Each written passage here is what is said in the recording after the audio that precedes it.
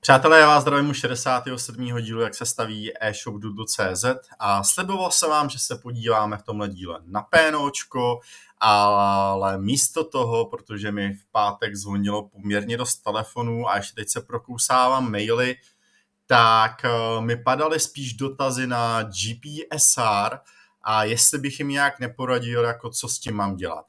Já vám tomu absolutně vůbec neporadím, protože si myslím, že tohle je spíš na nějaký právní vysvětlení a nastudování té legislativy a rozhodně to je už mimo rámec nějakých SEO specialistů či PPC specialistů, ale když už se v tom člověk jako začal vrtat, tak můžu doporučit aspoň články od Petry Dolejšový a video od Socials, kde opět Petra Dolejšová vysvětluje vlastně, jak byste se s tím měli vypořádat a já jsem si v tomhle videu řekl, že jsem mrknu na to, kdybych to musel řešit já, jakože jsem nakonec zjistil, že to taky musím řešit pro Doodle, tak eh, jak si to v tom ShopTetu nějakým způsobem jednoduše naklikat, abyste s tím měli co nejméně trápení a nedávali třeba EANy do eh, parametrů pro filtrování.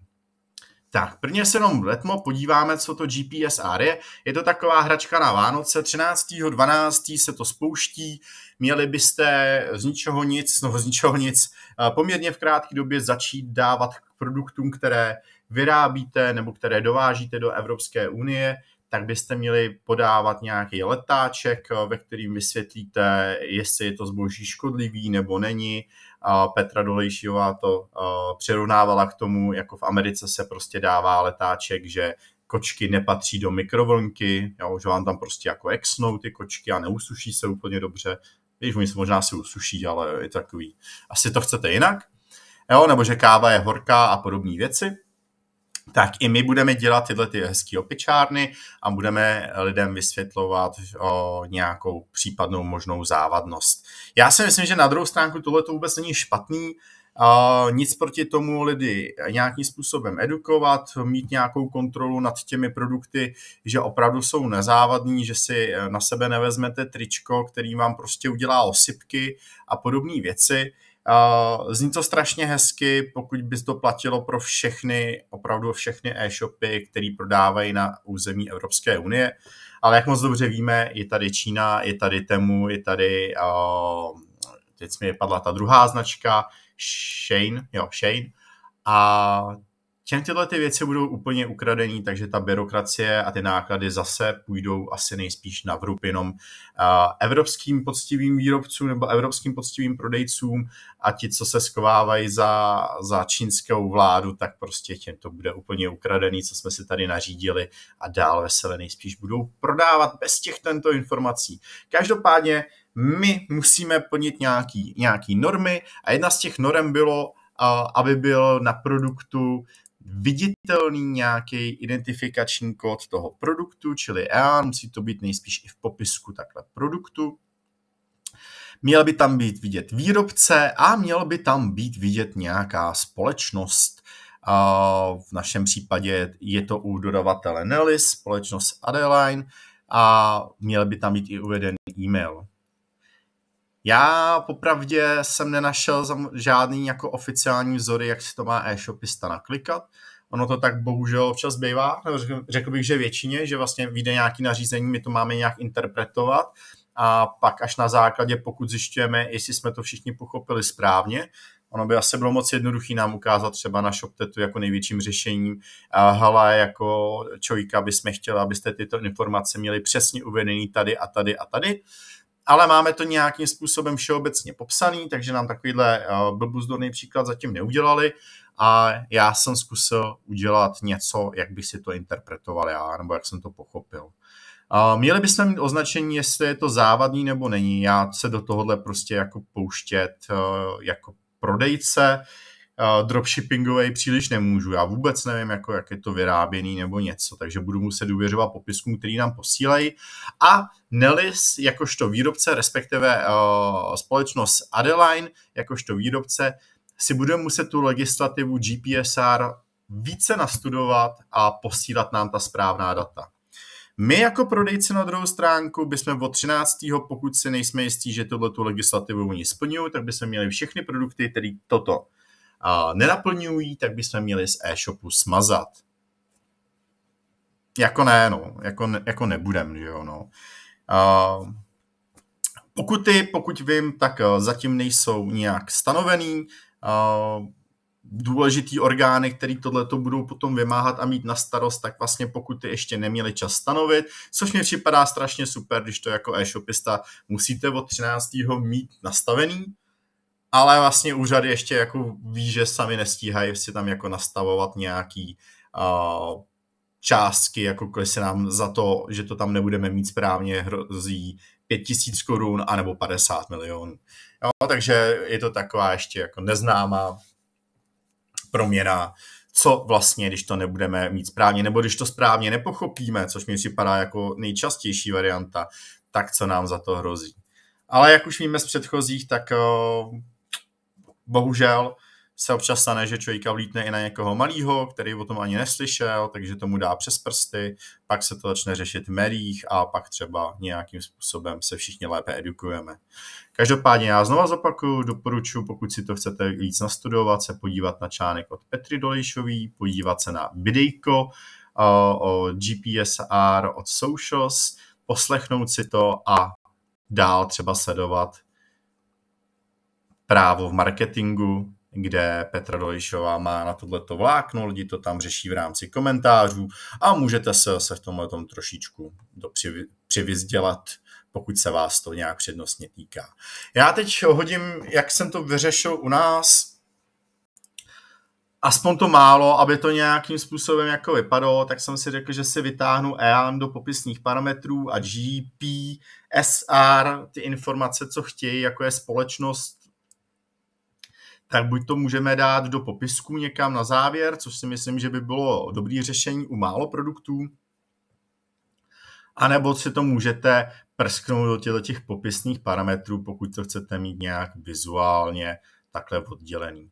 Jenom vás poprosím, nedávejte nám to do parametrů pro filtrování. Parametry pro filtrování fungují k něčemu jinému, jsou spíš pro SEO specialisty a pro UXáky. Máte tam mít barvy, máte tam mít velikosti, máte tam mít vlastnosti, které eh, potřebují PPC specialisti, eh, pardon, SEO specialisti pro zakládání parametrických kategorií, ale když už jsem zmínil ty PPC specialisty, tak pokud byste narvali EAN kód eh, do parametrů pro filtrování, tak by se vám mohlo taky stát to, co se mi stalo u jednoho klienta, že se mu částečně zhroutil Google Merchant Center, protože těch parametrů najednou jsme posílali poměrně hodně.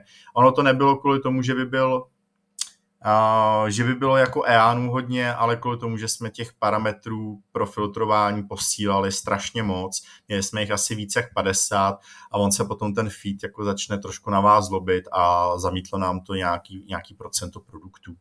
Takže uh, parametry pro filtrování slouží pro SEO, slouží pro UX, posílají se do feedů, do PPCček, tam by měly být pouze ty důležité informace, které umíme využít z uživatelského hlediska nebo pro SEO strategii a nebo pro nějaký lepší cílení PPCček.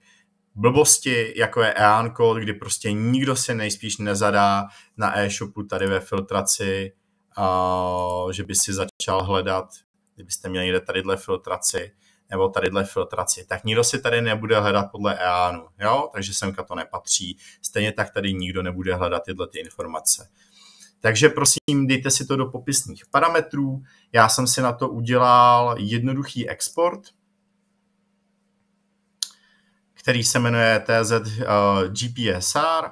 A v tom exportu, když dáte vytvořit nový export, tak v tom exportu mám zaškrtnutý, že chci kód uh, produktu, chci výrobce, chci EAN kód a chci popisné parametry. To si můžete jednoduše potom vyexportovat. Šup. Dáte si XLSX a dáte si export.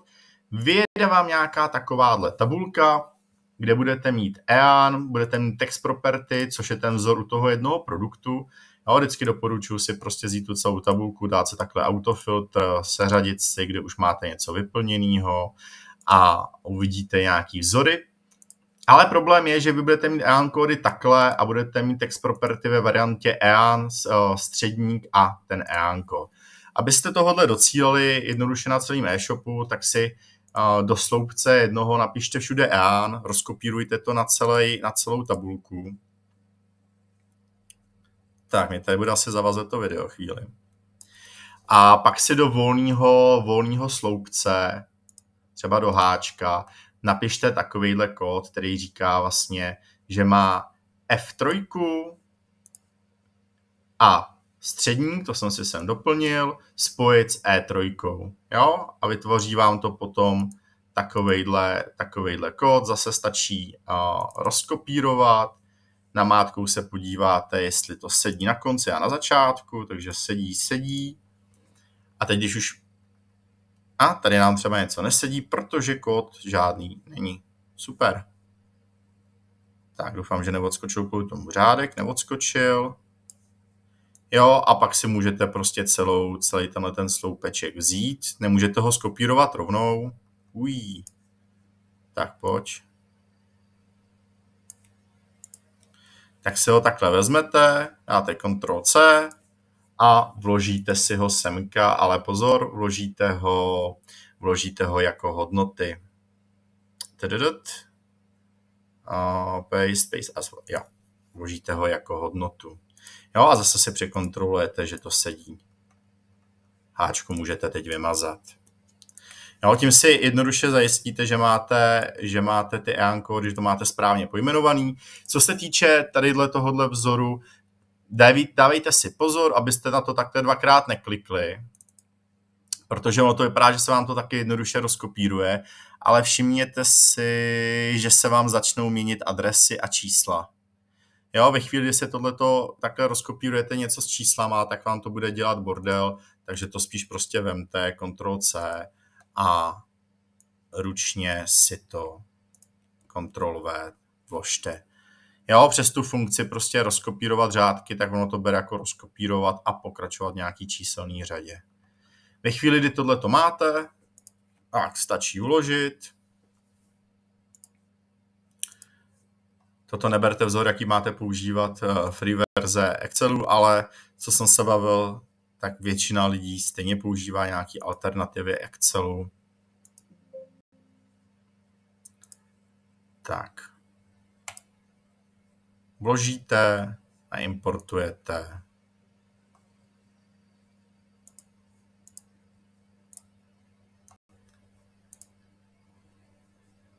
A za chvilku bychom měli mít tohleto u všech produktů.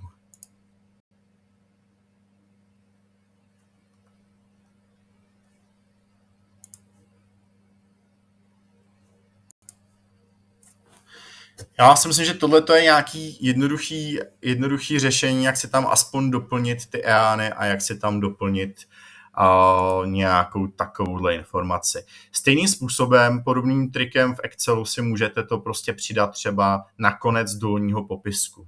Jo, pokud to chcete mít trošku jinak.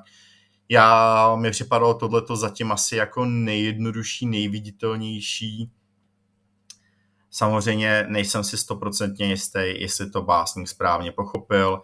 Ještě o něco těžší bude, že musíte jako výrobci, když to budete dodávat do Evropské unie, tak mít ještě nějaký, nějaký lejstro nějakého technologického postupu, že to je všechno správně. A za mě teda jako slušná byrokracie, ale aspoň se vám s tím letím možná ušetřil, ušetřil nějaký trápení, jak to, abyste to nedávali do parametrických kategorií, ale do těch klasických. Tolik za mě vše. Pokud chcete o tom vědět něco víc, určitě sledujte Petru Dolejšovou na jejich webovkách, na jejich sociálních sítích a já myslím, že tohle se bude ještě docela dost probírat, protože blíží se Vánoce a e-shopisté mají úplně jiné věci na starosti, než sledovat nějaký vyhlášky, který prostě někdo načasuje na nejhorší možný období v roce. Takže se držte, přeju hodně štěstí a ať vám e-shopy rostou.